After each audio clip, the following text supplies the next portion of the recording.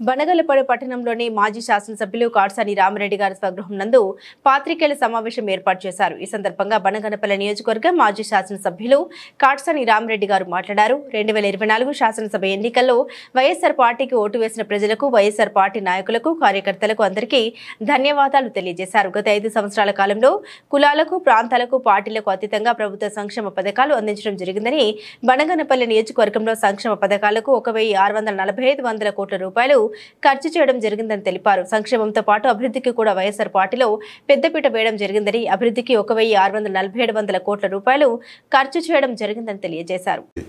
పెట్టకుండా మరి ప్రశాంతమైన వాతావరణంలో ఈ ఐదు సంవత్సరాలు పరిపాలన సాగించడం జరిగింది. మరి ఈరోజు వారం వారం రోజులు కూడా కాలేదు. మీకు తెలుగుదేశం పార్టీకి ప్రజలు అధికారం ఇచ్చి మరి ఏమైనా మీరు ఒక ప్రణాళిక గురించి ఇంతవరకు తయారు చేసుకోలేదు. మీ ప్రణాళికల్లో కూడా ఎవరి మీద దాడులు చేయాలా? ఎవరి మీద తప్పుడు కేసులు పెట్టాలా? మరి ఎవరి మీద తీనాటి కేసులు పెట్టాలని ఆలోచన చేస్తున్నారు తప్ప ఈరోజు వరకు కూడా ఈరోజు ఎన్ని గ్రామాల్లో ప్రతి గ్రామంలో కూడా ఫోన్లు చేసి బెదిరియడం పోస్టింగ్లు పెట్టడం ఫేస్బుక్లో మన ఇళ్ళ వద్దకు వచ్చి ఆడామగానే తేడా తేడా లేకుండా ప్రజలను భయభ్రాంతలకు గురి చేసి వాళ్ళను అమాయకులు. ఎందుకంటే ప్రతి పార్టీకి కార్యకర్తలు ఉంటారు. తెలుగుదేశం పార్టీకి ఉంటారు కమ్యూనిస్టులకు ఉంటారు బీజేపీకి ఉంటారు జనసేనకు ఉంటారు. అలాగే వైఎస్ఆర్ పార్టీకి కూడా ఉంటారు. వాళ్ళు చేసిన తప్పేం? ఒక పార్టీలో కార్యకర్తగా ఉండడం ఒక పార్టీలో నాయకులుగా ఉండడం తప్ప ఏ పార్టీకైనా కూడా ఏ పార్టీకి ఖచ్చితంగా ఈ ప్రజాస్వామ్య దేశంలో ప్రతి ఒక్కరికి ప్రతి పార్టీకి కూడా కార్యకర్తలు నాయకులు అనేది వాళ్ళు ఉంటారు. అంత మాత్రాన వాళ్ళు ఏదో మరి వాళ్ళు తప్పు చేసినట్టుగా ఆ పార్టీలోనే మరి వైఎస్ఆర్ పార్టీలో ఉండడమే ఒక నేరంగా భావించి ఈరోజు దాడులు చేయడం అనేది చాలా బాధాకరమైన విషయం. ఇప్పటికైనా కూడా ఈరోజు తెలుగుదేశం పార్టీ మీకు అధికారం ఇచ్చినారు. మీ అధికారంతో ఏదైనా మంచి పనులు చేసి మంచి పేరు సంపాదించుకోండి. అంతే తప్ప ఈ దాడులు చేసి ఏదో ప్రజలను బెదిరిస్తే మళ్ళీ మాకు ఇంకా ఇంకా ఇంకా అధికారం వస్తుంది అని చెప్పి ఆశపడతా ఉన్నారు. ఇది ఇది శాశ్వతం కాదు. ఎందుకంటే గతంలో ఎన్నో ప్రభుత్వంలో చూసినాం. మరి చూసాం గతంలో కూడా చూసాం ఎంతో ఎంతో ముప్పై ముప్పై సంవత్సరాలుగా రాజకీయాల్లో ఉన్నాం కాబట్టి ఎన్నో ఒడిదడుకులు వచ్చినాయి. గెలిచినాము ఓడినాము అన్నీ చూసినాం. కానీ ఈరోజు ఈ దాడులు అనేది మాత్రం సహించేది లేదు. ఖచ్చితంగా ఎదుర్కొంటాం.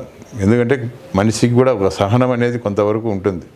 ఎందుకంటే వాళ్ళు ఏదో గెలిచినారు వాళ్ళు సంతోషంగా గ్రామాల్లో సంబరాలు చేసుకుంటా ఉన్నారు దానికి తప్పేం లేదు. అంతేగాని గ్రామాల్లోకి వచ్చి క్రాకర్స్ కాల్చి ఇళ్ళల్లోకి వేయడము మహిళలు అనేది కూడా చూడకుండా ఆ- ఇళ్ళ మీద రాళ్ళు వేయడము ఇనుప కర్రలతో ఇళ్ళ మీద పడి కొట్టడము దాడులు చేయడం ఇది ఏం సంస్కృతి? ఎక్కడికి పోతా ఉన్నాం మనం? ఏనాడైనా ఈ నియోజకవర్గంలో అటువంటి పరిస్థితులు ఉన్నాయా? గత ఐదు సంవత్సరాల క్రితం కూడా మేము కూడా ఎమ్మెల్యే గెలిచినాం. ఏ గ్రామంలో కానీ ఎక్కడైనా ఒక చిన్న సంఘటన ఏదైనా జరిగిందా? ఎక్కడా లేదు. ఎందుకంటే ప్రజలు ఆశీర్వదించినారు మమ్మల్ని గెలిపించినారు ఐదు సంవత్సరాలు ఏం చేయాలా ప్ర- ప్రజలకు ఏం మంచి చేయాలని ఆలోచన చేసింది తప్ప ఏ రోజు కూడా ప్రజలకు ఇబ్బంది పెట్టే విషయంలో కానీ అవతల తెలుగుదేశం పార్టీ వాళ్ళని ఇబ్బంది పెట్టే విషయంలో ఏనాడు కూడా ఆలోచన చేయలేదు. కాబట్టి మీరు కూడా మరి తెలుగుదేశం నాయకులు కూడా ఆలోచన చేయండి. ఇవి ఇది మంచి పద్ధతి కాదు. మీ పద్ధతి మార్చుకోకపోతే ఖచ్చితంగా మళ్ళీ ఈ దాడులు మీరు దాడులు చేస్తే మేము ఊరుకునేది లేదు. తక్- తప్పకుండా మళ్ళీ ప్రతి దాడులు అనేది ఖచ్చితంగా ఉంటాయి. మీ కేసులకు కానీ తప్పుడు కేసులకు భరించి ఏదో పోలీసులు కేసులు పెడితే భయపడతారు అనుకుంటా ఉన్నారు. ఈ కేసులన్నీ ఎప్పుడో చూసి వచ్చినాము అన్నీ చూసినాం కాబట్టి తప్పకుండా ఇది సహనం. ప్రతి ఒక్కరికి సహనం అనేది కొంతవరకు ఉంటుంది. ఆ సహనం అనేది నశించిన తర్వాత ఏం జరుగుతుందో ఏం చే చేసేదానికి కూడా వెనకాడం. కాబట్టి ఇప్పటికైనా కూడా మీరు ఈ యొక్క పార్టీ కార్యకర్తలకు కానీ నాయకులకు కానీ మరి ప్రశాంతమైన వాతావరణంలో గ్రామాలు ప్రశాంతంగా ఉండాలని చెప్పి మీరు తెలియజేయవలసిందిగా నేను తెలుగుదేశం నా- నాయకులకు కోరుతామని